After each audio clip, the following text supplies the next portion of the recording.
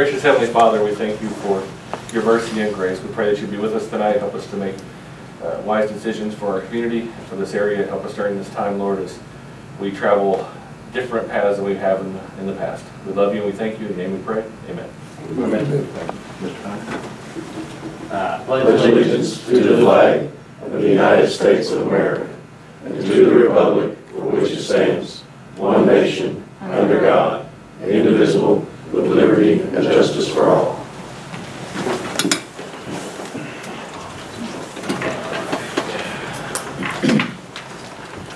First thing, uh, approval of the minutes from the meeting on the 7th.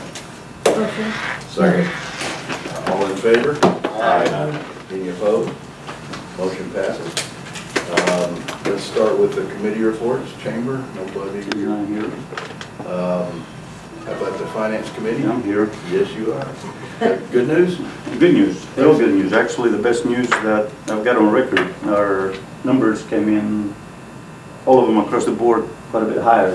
Uh, I'm not gonna itemize them, but I'm gonna tell you a total of ninety-five thousand four eighty-four, Excellent. uh, higher than a year ago.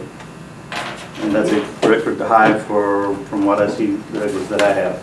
We don't know- even want to guess why, do we? Uh, I'm gonna Say say that people are shopping people are shopping locally, and that's what you're gonna see if people are not spending the money elsewhere. want to go out of town with the virus. Fireworks. So if this continues, you'll be, good news. Yeah, I think that's something to point out to the public, if they'll continue that, it's helping the city, and it's helping us to meet the goals that we want to do. Provide more services and so forth, you know, if they have money available. Downtown, a couple of the stores have things in there, but uh, on the glass, but shopping local. I like that. All right, anything else? That's all I've got. We've got a finance committee meeting next Tuesday at five thirty, Okay. for you guys that are on the finance committee. We have one more to go to. Fire? All right, council members, uh, few things, do have several of our folks out. You'll notice, uh, we got, uh, one new face up here, I don't know where Tina ran off to, but, uh, several folks out to the MIRMA Conference. So we've got those folks going out for the rest of the week. Uh, some other stuff kind of going on with us. Uh, First of all, let's talk about fire. Uh, This afternoon, we did have a severe storm kind of move through. Uh, You'll get on the emergency management website, uh, Facebook page, you'll see some of the damage we've come across out the parks. Looks like Chuck's gonna be cutting wood for the next few weeks, so how much wood could a wood chuck, anyway. Um, Some may be special interest to Councilmember Malat, uh, the tanker that's, Oh, we've been on hold, here? guess what? Is here? It's not here yet. Getting They're, they're, they're, they're telling me the end of this month, so by July thirtieth, so hopefully by the next council meeting, we'll ask for the money Too good a deal, pass that. here you go. Uh, Our advanced life support inspection from the state, they finally give us a date, uh, July 30th, they'll be here to inspect us for that. Uh, So again, we can, we can start doing some uh, advanced life support. Uh, So that's very, very uh, grateful for that. Um, Let's see.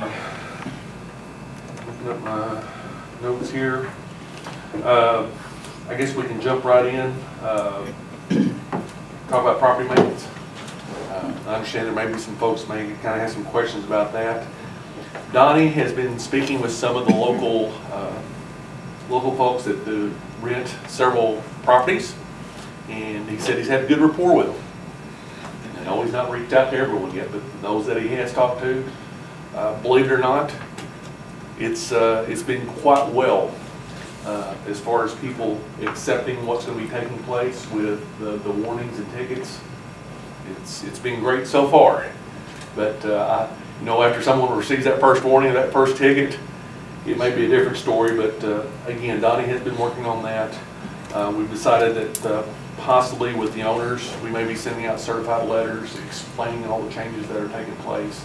Uh, we've been with the radio station, uh, Steve was gracious enough to have his have us on his show in reference to the changes in, uh, Trina, next with the newspaper, we need to get with you. So, Is the old um, hospital property on your list? Well, with the hospital property. I had a couple of phone calls on that, that's why I'm bringing it Uh, up. They were out there one yesterday. thing we need to kind of mention is, it is being mowed. Some of it. some of it. The parking lot looks bad. Yeah, uh, Right up to my They did talk to the gentleman that's taking care of that property, uh, I believe yesterday, and he would see what he could do with it. Uh, The property that's up front, as far as the landscaping, again, he was gonna discuss it with the owner that, uh, you know, he can get in there and do a little bit more besides mowing. So, Same guy that hit the pole. Might be. but, uh, no, uh, again, we knew that was gonna be an issue that may come up, and, uh, yeah, he talked to the gentleman, so hopefully we should see something done a little bit better. I also understand that they've missed some spots, No. so, anyway, again, that was brought up to him as well. But, uh, Things that are coming up, uh, I believe probably next go-around, next meeting, uh, we're gonna be talking about the CARES Act. We get with Brenda and uh, Leslie, as well as the Finance Committee, about the possibilities of what we can use that funding for. And we're very excited that we did receive that, receive some of this funding that come from the county. And again, that'll come out later on. One more thing, uh, we did receive from the Regional Homeland Security Oversight Committee, uh, we received a grant in the amount of ten thousand five hundred dollars to go towards our uh, communication vehicle. So we were very grateful to get that because the Regional Homeland Security funding is steadily dwindling downhill, like many other funding that's been around for a while. So we were fortunate that we got it this time. So yeah, I have a feeling uh, two or three years out, that grant probably dry up. That's all I have. Thank you. Any questions? Anybody else from the fire committee? Um, Human resources, uh, we don't have anything today for that. Uh, Humane, I do. Um, Tina's not here this evening, but she said they had a great week last week. They took in quite a few dogs. They were able to place 35 this past Saturday on transport for other rescues, and one was adopted in the Upper Peninsula of Michigan. So they were going, to some of them were going to go a long way. When they cross a state line, it requires a health certificate, um, and most of them also had to be vetted. But she said they were all, it was all paid through donations, uh, so that she was very pleased about that, and they have a total of five dogs right now. She goes, now, it's only Tuesday. So it'll fill back up by the weekend, I'm sure. But um, she said that they've been doing real well moving the dogs through. all right, great. Good. Uh, Police, Nothing for police unless you guys got any questions on anything. uh, do you know anything about the uh, overtime that we approved? Has that been put to use yet at the council? Do you have any idea? I want to say he might have had one person work it so far. I'm not hundred percent on that. Thank you. Um, The street department.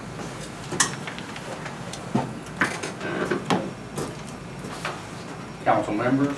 Uh, Mr. Park couldn't make it tonight. We don't have a whole lot, just uh, a little update information. The construction crew that's working on Main and Eighth has finished that up and got that road opened up. Uh, We did a little stormwater work while we were there, try to help the drainage out a little bit. And they have moved to Main and Fifth and started breaking that out, so this week, uh, weather permitting, they'll be working there. Uh, Street department poured a little bit more concrete, uh, sidewalk there in front of, uh, Family Pond. We're gonna stop there for a little while so we can do some, take care of some other things we need to do. Uh, we do need to have a short closed meeting, just to update on some of the industrial stuff. I guess as long as I'm up here instead of sitting down, I'll go ahead and stormwater. Uh, we sent the paperwork back to Benton and Associates, and they said they're gonna get started on the, uh, post-construction stormwater plan. That's what was okayed for the, the money at the last meeting to get that done, so hopefully we'll have that done pretty soon. Uh, along with stormwater, the street department has been working at the Shelton Pond that we recently acquired. We removed about hundred and forty-eight loads of dirt last week in, in three days from the bottom of the pond. We've got it, the pipe was sitting more or less on the ground. Some places were above the bottom of the pipe. We've got it now about two foot below the pipe, so the water should get out of the neighborhood real good next time it rains. I actually went when it rained real hard a while ago, there was nothing coming out of the pipe, so I'm hoping it was just, we got a- not enough rain to do anything, but we're gonna do a little bit more on that, It's probably what we'll do when we stop on the sidewalk for a little bit. We're also have got the ditch coming into town on Ely Road, we got it mowed. And, uh, I think the township had been mowing it, and I, I guess we're, we took it back over now, so. We got it mowed, we're getting ready to start on Ely Road, uh, on Buffalo Ditch, moving back toward Independence and try to get some of that mowed. We've got a plan for trying to keep some of that down, so we'll see how that works. If y'all have any questions, that's all I've got. That's all been impacted by employees and trying to get employees, right? Yes, well, one of our biggest things, the guy that's been mowing has been doing the mow crew. So he's training, we're training a guy right now, we actually got another guy, he trained another guy to train a guy for the mow crew so he could get back on there and get some more of that mowing done, so. He'll be doing that this week if the weather lets him. Thank y'all. Just want to kind of remind the public with uh, this information, they don't know that there's a problem unless you let them know. And uh, sometimes they, uh, the public assumes that if they're constantly driving the streets or whatever looking for problems, but if you do have a problem, you need to let your councilman know or someone know because uh, it- it's, there's things that are happening that we're just not aware of, so let us know, please. Uh, Industrial, he's not here. Anybody have anything on that? No. Okay. Uh, Unfinished business, Bootheel uh, Regional Planning Commission bill. We, uh, we're going to vote on that tonight, correct? And uh, we had a project that was being, uh, that we were going through the Bootheel Regional Planning Commission on. Invoice is three thousand two hundred seventy-nine dollars and sixty cents. Uh, How much is that project value? That roundabout guess? Uh, roundabout gas and, uh, around eighty thousand dollars. Okay, so it's probably worth it. We'll also So we're work still gonna energy. use them? I'm sorry? Are we still gonna use them? that who we're using for that project right there, so. Also, Bill, maybe something to think about, uh, Industrial too. Or industrial? They are working on something else for us as far as the, uh, industrial stuff. Okay. They're working on something right now that hopefully in a couple of weeks they'll have some information on it, so. Okay. And I'll make a motion that we. Okay, well, let's let him finish. his- Okay. Uh, That's a good thing. I knew with the uh, street department utilizing the CBG, get my CVs right, uh, grant in years past, that I think the Blue Regional Committee will also be assisting us with, for the next, uh, Keith, uh, don't put you on the spot, but uh, for the next three to four years, they will be doing some uh, auditing for us or assisting in the audit for that Maybe. grant. I know that they, that you, we have got several of those CBDG grants from them. Uh, That's one thing we'll need to talk about in closed meeting, but they are working with some other stuff for us, so it, um, it might be a good thing to go ahead with them this, We- this we year. got it budgeted, so so again, I'll make the motion that we. Second it.